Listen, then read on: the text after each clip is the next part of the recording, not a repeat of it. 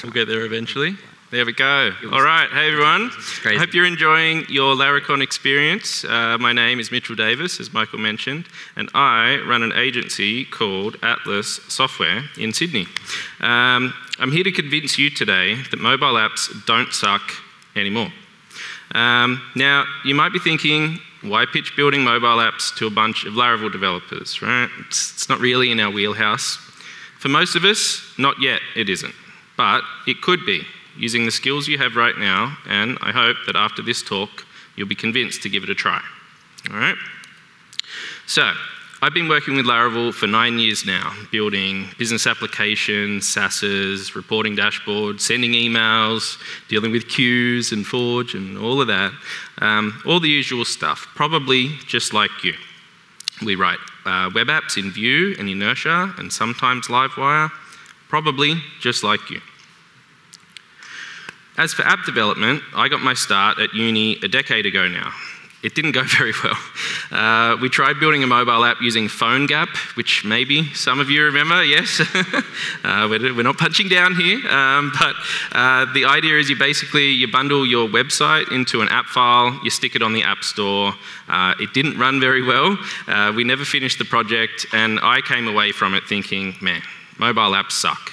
Just something I'm not interested in. Well, that all changed four years ago. For the last four years, our agency has also been building mobile apps for our clients. When a client came to us and said they wanted a mobile app to complement the existing web platform that we built for them, I recalled those days of using PhoneGap. And I was really hesitant to take on the project. I thought maybe this wasn't for us. Um, but we persevered. We did a ton of research into what was then available, because it has changed a lot, and we were able to deliver a mobile app for them. It actually ended up being a lot of fun. So, I've learned a lot over these last four years, and I want to share it with you today to encourage you to embrace the touchscreen. So, I'd like to encourage you to get involved. This talk has a bunch of demos in it towards the end, uh, and I'd love for you to have a go at them. They're all available in the Laracon app. So if you haven't installed it yet, uh, I'd love if you would use the link on the screen there, go grab it and log in. Um, you'll need your ticket code, which was in the email that Michael sent out a few days ago. Just scroll down a little in the email. So while you get set up and do that, I'll just take one minute to talk about my journey to the stage today. So my speaking today has been a few years in the making. I was in the crowd in 2019 and again last year. And as you can see, I've made a few changes. I'm a lot more interested in hats now. um, I also want to thank two people. Uh, so last year, Michael Dyrynda reached out and said he hoped I would submit a talk again this year, as I missed out by apparently one slot last year. Um, that gave me the confidence boost I needed to ultimately get up on this stage. And all these last few months, uh, Michael has been really encouraging and supportive, and he's just running an awesome conference, right? So I'm really thankful for Michael.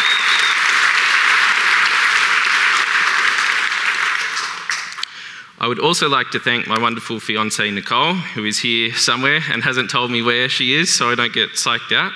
Um, and our boys, uh, that's Franklin and Remington there. Um, Nicole's been super supportive the entire time I've worked on the app, and believe me, I have worked on it a lot. This has been crazy, um, so I certainly don't take that for granted. So that's enough of the personal stuff. Uh, I hope you've all downloaded the app, uh, so let's get into it. Why should you build a mobile app? Reason number one mobile apps are dope, right? You get a binary. How often are we, as web developers, getting to build a binary? Like, it just doesn't happen. Something pretty cool, I think. A mobile app makes your product legit. In the minds of your customers, a mobile app is a step above some other web based software that they might be using. It's a big selling point for the typical non developer. Additionally, you get the ability to send your customers push notifications, and you're front of mind every time they swipe past your app on their home screen. Your users deserve a great mobile experience, and not only that, they demand a great mobile experience. If your users can't use your product on their phones, unless you're in some pretty specific industries, they might not stick around too long. And sure, we can and we do make mobile websites, but again, in the mind of the non developer, a mobile app is often much better and more natural feeling than a mobile website. So, how do apps work? I can see your faces now. that depends on who you ask. Um, if you want to build an app, you've got a few options. You can build a native app going the whole hog. So, if you go this route, you'll learn Java and Swift, Gradle, Xcode, Android Studio, Objective C. You won't get any code reuse, but your app will be as performant as possible. For a web developer, this sucks. Next thing you could do is build a web app, quote unquote. This is like that PhoneGap example I gave earlier, where you're actually running HTML, CSS, and JavaScript inside of a web browser that's kind of bundled into an app. They're not very performant, uh, and you are really limited with the device APIs that you can call because it is running inside of a, a browser. So, for a web developer, this is better as it leverages our existing skills, but it still sucks. In first place, the gold medal, you could build a React Native app. Now, these apps are written in JavaScript, uh, specifically with React and in JSX, which, for those that don't know, it's JavaScript that kind of looks like HTML. It's a bit different, but you'll see. The, the JSX gets compiled into actual native UI components that run on each platform, iOS and Android. And this makes your app very performant, since it's literally running native code. Um, through different tooling, you can style your app with Tailwind classes, uh, and it'll run on both platforms out of the box. So you don't have to learn any new languages. For a web developer, finally, this doesn't suck anymore. So, how do React Native apps work? Let's take a look. So, I think I'm this one. Cool. So, what I have here is a React Native code base. Uh, I created this running npx create expo app, and we will get into expo in a minute. Um, I've then run an iPhone simulator on the right here, um, and this is bundled into Xcode on any Mac device. For Windows folks or, or on Linux, you can run a simulator using Android Studio. Um, if we take a look around, you can see we have an app directory, and this just has a few files in it. These are our screens. So the file, uh, the screen that we're looking at on the right is this index.tsx. Uh, it is in TypeScript, but uh, you can also just write uh, normal JavaScript, so don't be scared of that. So what we have is live reload. So if I just write this is a test, and I hit save, bam, that will appear on the screen. And this is how you develop your apps. You're just, it's just like having a website on your other screen there, and you're writing in your editor, and it's updating live. Works exactly the same way. Um, we can make uh, plenty of changes, as you would imagine. So if I try, there we go, thank you. If I go, okay, let's make the background green, maybe it's not the best design, but you can see how quickly you can put things together.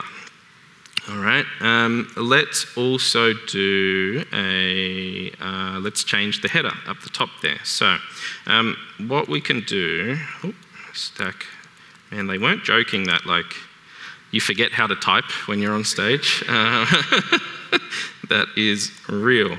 So uh, I can change the title here to be home, let's say. So that's going to update live, um, and then there's plenty of other options. You can obviously you can change how everything looks um, all over here. Next thing that we're going to do is just add another screen, and then I'll show you how to link to that. Um, so if I just copy this and then, and then paste it, and we will call this about. Uh, I will call this one about, and uh, let's say this is this is the about screen. Man, they are not kidding. Um, okay, so uh, what I can then do to actually link to that screen, uh, there's a link component. So if I go link, that will pull that in from something called Expo Router, and then you can see already my IDE knows that, oh, this is another route inside of the app. So I can just go about. Cool. So I know this isn't styled. We'll get into that later. Um, but you get the fundamentals, right? So now if I click on about, great, it takes me to this page. The title is called about. It's got its content. And then you see this nice, like, native looking uh, navigation menu at the top. Like, all of that is just baked in. You, you saw everything I just did there to get that to work. Cool. One final thing that I want to point out in this code is that you can see we're using these text and view uh, components from React Native. These are the ones that actually compile down um, into the native uh, UI components for each platform that make it run really performantly. So we're not using divs and p tags and buttons like we would in HTML. Uh, these are actual components that will then render down into native, um, making it nice and fast. One final point of difference from HTML to uh, React Native is that um, views, which again are kind of like divs, uh, everything is flexbox by default. Um, and it actually is flex column instead of flex row uh, by, by default. So, and that kind of makes sense when you think most phones are probably in portrait mode or, or tablets, things like that. Cool. All right. So that is our demo. So how does that native part work that I talked about with the components there? Um, React Native apps have two layers. They have native and they have JavaScript. Now, the native layer is all the Swift, Java, binary type of stuff. That's where it lives. We almost never need to go there. You hardly need to think about it. Um, then there's the JavaScript layer, and that's where we live and we get to play. So you'll write code that calls the native layer, and that makes things nice and performant. Um, and then the, uh, all of your screens, all of the elements on the page, everything like that, you control that inside of this JavaScript layer. So to mix these layers together and have them be able to talk to each other, you just install NPM packages. So very similar to what we have to do as web developers. Um, the packages that you install include any native code that's needed to run them on each platform. And the bundler knows how to put it all together at the end to compile one binary, which is your app. So, where do you find these packages? How do you know what's good? You can go searching GitHub looking for packages, mixing and matching, or you can use Expo, which I like to think of as the Laravel of the React Native world. So, Expo is a framework that runs on top of React Native, much like how Laravel runs on top of PHP, and it smooths out some of the rough edges for us. Expo has packages for everything you see here. So there's camera, there's deep linking into your app and into other apps.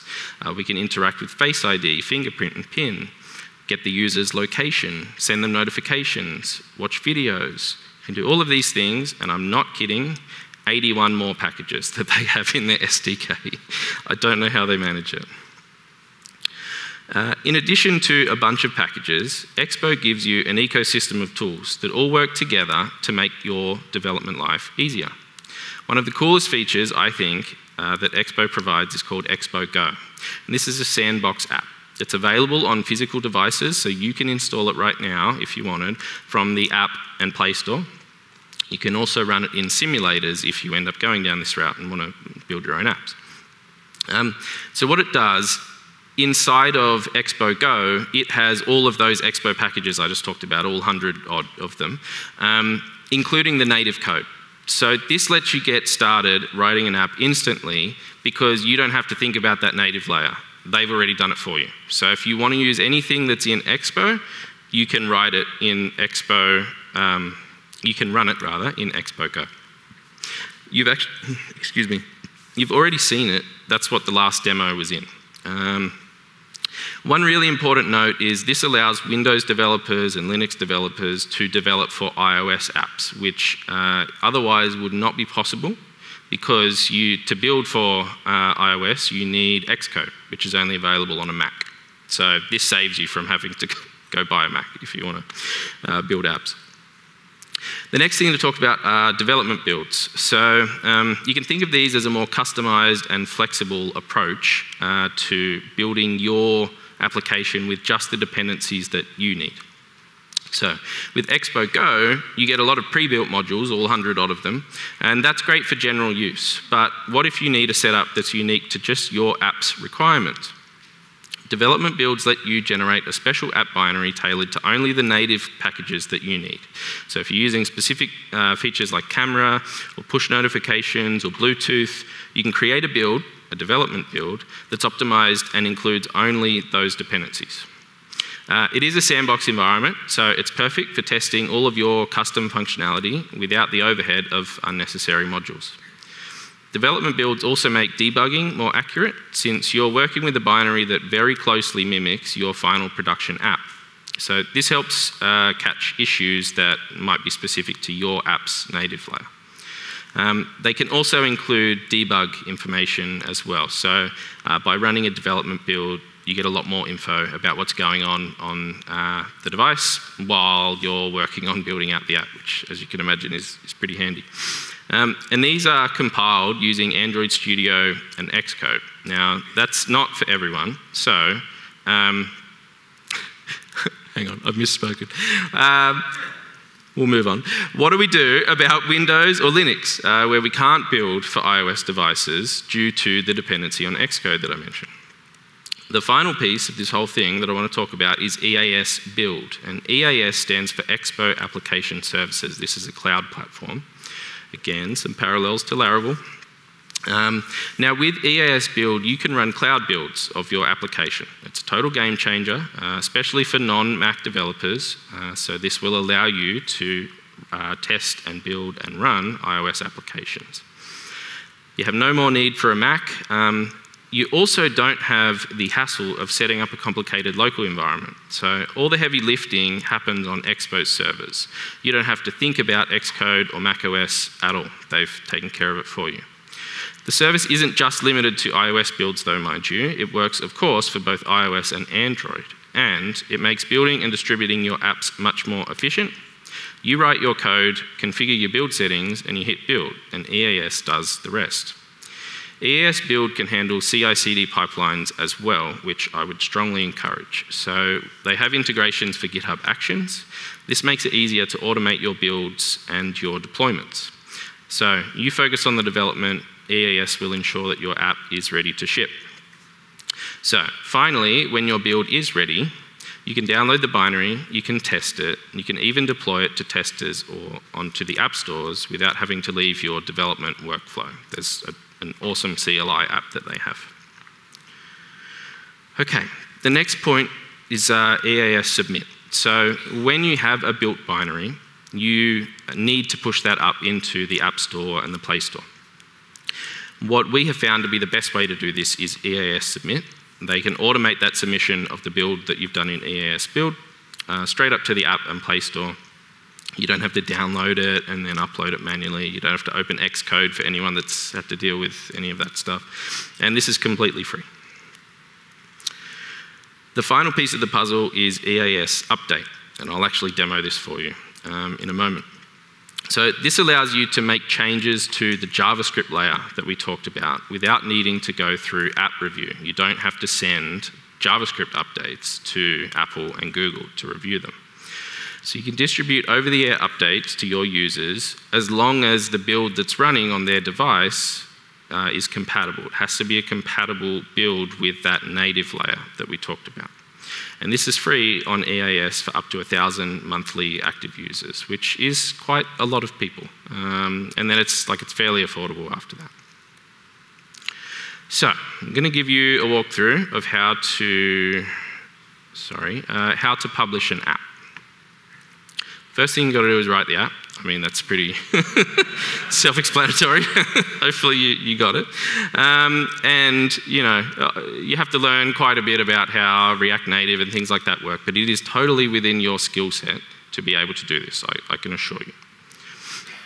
After you've written the app, you'll build it, and then you want to test it on real phones. Um, and I could tell you uh, for, for Laracon, this was very useful. Um, I had some lovely help from some of the speakers, uh, and, and they really helped me get the uh, Laracon app up and running before we then shipped it to everyone here. To test your app, After you submit a build to the App and Play Store, it will go into a testing track just by default. So these tracks are called Test Flight for iOS and uh, internal testing for Android. Now you can share these builds with your team. Uh, so they're meant for, you know, not your customers necessarily, but you could choose to share it with them if you need it. So you've got your team, your QA people, your trusted customers. There's a limit for each system, each uh, App Store, Play Store, for 100 users for internal testing. This is what we use to test the mobile app. Um, a limit of 10,000 users for external testing. So if your, you know, your system is awesome and you have a lot of users, you can add up to 10,000 people that will have access to early builds before you then publish them. So that's kind of cool. And users can share feedback instantly with screenshots and notes. It's all just like integrated straight in. So they take a screenshot on their phone and then they get the option, would you like to share this with the developers? So it's actually a really neat workflow. Now we'll talk about going live. So you prepare a release by promoting your build to the production track. Uh, this will trigger a manual review by Apple and Google reviewers. They check that your app is compliant with their guidelines. Now, this can take 30 minutes, or it can take over a week, which is what happened with our app. you can imagine how stressful that was. Um, uh, if, you, uh, if your app is rejected, you need to fix whatever the issues are, and they will tell you. Um, it's actually like pretty handy. We actually, we had a, a problem with the Laracon app where um, when we were asking permission for the camera, uh, if you wanted to enroll in the game, they didn't like the fact that the button said grant permission. Um, instead, it had to say continue. So that they flat out rejected a build for that. So you got to follow the guidelines, uh, which are there for a good reason, but you'll be right. If approved, you can choose to publish your release to the store manually, uh, or you can do it automatically as soon as it's approved, which is exactly what we did. So let's talk a little bit more about the Laracon app. Um, so what I can do, nope, not that one. Okay, over here. So I learned when I was walking onto the stage that unfortunately my phone got unplugged. So we just need to take a moment, and you're going to see how the sausage is made here. Let's do one thing first. Right, there's a lot going on in my last eight minutes, so bear with me. What I have here is a pull request to the Laracon app, which is on hopefully all of your phones now, right? So um, I'm going to uh, merge this in in just a second, and it's going to do an EAS update. And you can see all I've done is just changed on the menu tab. Um, we've got our uh, information there. It says we love building great software, and I've just changed that to an emoji. So um, this is not, you know, nothing crazy, but um, if I merge that in, and then I go over to actions, boom. I'm being quick so you don't see too much. Uh, so hopefully this will run. Like this is live. So if something goes wrong, whatever. Um, we're just going to roll with it. All right. But let's see. Fingers crossed. Um, cool. So that's that's step one. And now I need to get QuickTime up and running. That is going to take three minutes. Uh, okay. I need to kill QuickTime. I promise this wasn't my fault, all right? I've, I've tried. Um, so I go here, hello, screen. I promise this will be cool. You'll get to see my phone when it works. Okay, all right. Um, so then I need to set this up. If you didn't know about the left and right things in full screen, it's pretty cool. All right, so we're up. So I have the, uh, the source code for the Laracon app, which is running hopefully on all of your phones, and I want to show you that this is live. So this is me moving around on the phone here. Um, so this is our home screen and I can kind of show you a few little things. What we're doing, like when you're building mobile apps, you have to think about network requests and stuff like that. Some of you might have noticed that the app doesn't work offline at all because it was in the too hard basket, all right? So I'm sorry. So you could do that for your apps, all right? um, so uh, we had like a countdown. Maybe you saw it in, like in the lead up to the, the app. You can see there's some TypeScript stuff here with like the red squiggles. It's all good, you know, it still works. It's fine. Uh, just let's just chill. You know, it's okay. Um, so. so um, I'll show you where in the app that little like the menu thing that we had down the bottom was, um, which is here, and then we will get into some demos. So this was it here, and you can kind of see like the text on the left here uh, matches the text on the right that you can see, right? So like job done. Um, cool. So let's get into the demos. So this is the part that you can interact with. So I want you to go into this talk uh, on the schedule. Let me move a few things. So I will do that now, uh, and we're going to go to location. So um, let me show you the code on the screen, but you can also see it yourself if you click on the React tab. You'll get to see the actual code which is running on your phone right now. You can see it on your phone. Uh, I thought that was pretty cool. So um, we don't want camera, we want location. So this is how this works. So I've already granted permission, it's my own app. So uh, I go use last known position and this loads instantly. You can see that it knows already where I am, that's great. Um, and then we're drawing that out onto the screen here using a package called MapView, I think it is. It's like very popular somewhere in here. React Native Maps, there you go, it is a map view. If I hit get current position, this is a lot slower. Um, can sometimes take about 10 seconds. So if you're doing anything with location, you might want to think about um, using the last known position as kind of a, hey, they're probably roughly in this area, and then you can kind of hone it in. Um, so that's something to, to consider. Reviews, do me a favor, hit this button, review this app. I would love five stars only, please. Uh, now, if I hit it, it doesn't do anything because I've already reviewed my own app. Um, but hopefully for you guys, it will come up. Five stars, please. Um, and again, the code for that is, is in there. I am rushing because I've got a cool ender. Um, deep links. Let's do this. So Deep links are really cool. They kind of work the same as uh, they do on, you know, on our computers and stuff. Like HTTPS is okay. It's going to be a web page, and SFTP and all those types of things. Mail to, etc. Works exactly the same. Your phone does all of that um, under the hood. You can also use this to uh, open up other apps if they are installed on the user's device. So, if I go to Maps, for example, here. It can. It can open maps, and it does. So there you go. You've just got directions to bowling tonight. Um, we can open email. This one's kind of cool. I don't know why this is a thing, but shoebox is like the prefix for Apple's wallet. I didn't ask. like, whatever, that's cool.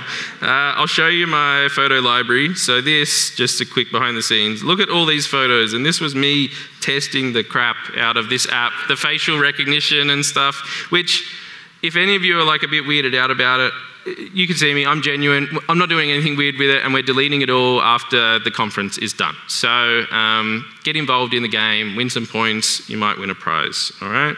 Um, Cool. Then biometric authentication. So this is like to trigger Face ID. So if I do that, ah, I have actually, um, I've blocked that uh, somehow. Um, anyway, but for you, it might be Face ID uh, if you've given it access and your phone has it. Uh, storage, this is key value storage, uh, which you can run inside of your app. Um, and you can see if I go add an item, I can then read that out anywhere else inside of the app.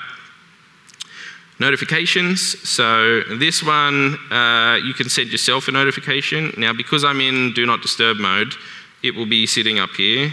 So, um, but for you, hopefully it pops up on your screen. This is what your phone, oh, where did that go? Oh no. There we go. Um, this is what your phone actually receives when you get a notification. So I thought this might be kind of cool. Maybe you want to suss it out. Um, and then you can trigger local um, notifications and delay them by like a week or a month, or you know you can set them as recurring to say, hey, every Monday send this person a, a notification. You can also do. I might run a little long. How did our, our update go? Uh, Look at that, it's down there, it worked. so uh, if I go, there's a new update available, tap to fetch it, it's going to download it. Hopefully, it'll all come through for you guys. And then there's that notification. And then, boom, there it is. We have the emoji. all right. I've got two more things for you in less than a minute to do it, but we're going to try. Uh, so I'm going to run this uh, Vapor command, and hopefully that will send everyone a notification. It might not work. I haven't fully tested it. Look, it doesn't look like it's worked, but that's okay. Um, anyway, hopefully this one will. So I want you to go to the. I have a slide. Just just work with me here. Um, before we do this last part, I run an agency, as I said. It's called Atlas Software. You can visit it at atlas.dev. Uh, if you're interested in having a mobile app built, uh, hopefully you like what we're doing. Um, we're going to do one last demo here. So I want you to go to the I know that's a black screen, don't worry. Go to the camera, and what I want you to do is take a photo of me. And hopefully, it will come up on the screen behind me. And I, want to I wanted to do like a, ladies and gentlemen, the Jericho, you know, type of a thing from Iron Man. so hopefully, hey, all right. So I know you can't zoom in on the app, I'm sorry, but uh, it was in the too hard basket. So hopefully they'll all come through. I was hoping for a few more. It might be a little slow, but uh, gee, that's it. We got the Jericho. All right, that's cool. So, thank you very much. I hope you've enjoyed this talk, and I hope you'll consider giving app development a go. Sick. We made it work. We did it. We did it. Thank you, mate. We did it. We did it. Uh, he was not kidding. Like we wanted to send those ticket emails on Monday, and we thought for sure it would be Apple that would hold us up. But Apple was like 30 minutes, and and Google we're like emailing them. We're like, please. I literally begged uh, Google. I wrote them a support email like, I am begging you. This is going to be so embarrassing if this doesn't go through. So, and then they approved it an hour later. So it worked. So the, the, the key is to beg. to beg Google. Um, there's a few questions here that we'll just quickly go through. Um, what issues did we have? Like the main issues that we had was the submission process, like the building. The submission, yes, um, but also the. Ah, I want to leave this up, but the the name tags in the photos when you go view a photo, that was like a nightmare. Uh, really, like a lot of chat GPT, how do I fix this math? Like it was rough. And then um, swiping between photos in the gallery, you might want it to be like a bit better. It, it like, it's like a black screen and then it loads the next image. I couldn't get that to work either. So, look, you get what you get, all right? Um, how long did it take? All This up? was about two months of like a lot of time. A Um, lot. But I didn't really get a chance to talk about it. But I built like a whole conference event app management platform behind this because I didn't have enough else to do. So, so that took a lot of the time. Um, you can get an app up and running in like a week. Uh, so I, I would encourage you to give it a go. Nice. Um, la- last question. This this is the top voted question. It's from a M- Mitchell. How did you make this app so good? A lot of hard work, but we got there. There. Thank you.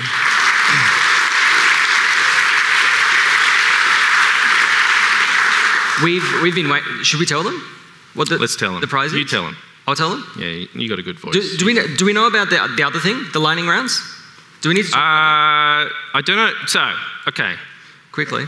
we sent it out. The notification didn't work before. So, look, there was a lightning round. All right, let's let me tell you the story. So there was a lightning round during lunch and during each of the breaks. There's meant to be a lightning round where um, attendees, some of you, 10% of you.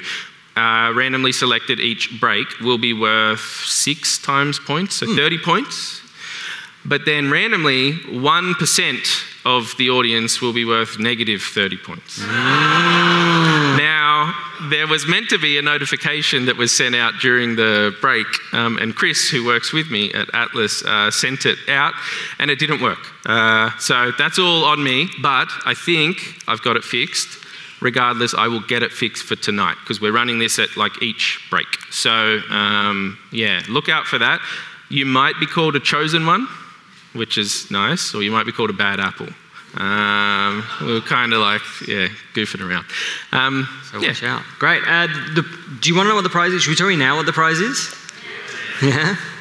Man, they're not that keen. Do you No, want to they're not keen. Know. Do you care? I don't know. Have you- Like, yeah, that's better. That's better. Have you, have you been to a Laracon? We don't like mess around with prizes. So the prize this year is a 15-inch MacBook Air that is with 16 gig. It's 512 gig of um, hard drive, and like Apple annoyingly like released the new like base model with 16 gig the day after we bought it. So that is the prize. We're giving it away tomorrow. Taylor's going to hand it to the winner. So um, install the app, take photos, capture memories. Thank you very much, Mitchell. Woo! Thank you.